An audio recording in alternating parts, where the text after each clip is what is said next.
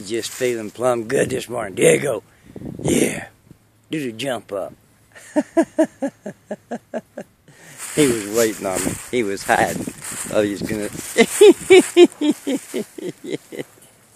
yeah, buddy. Feels pretty good for you. Thought he was gonna hide and catch me when I came up. He was hiding. thought he was gonna get me. He would get me if he had the chance. Trust me.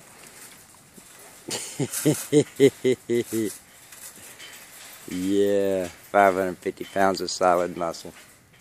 He's a big boy. Cash got me fit into a coffee cup. Ain't that funny?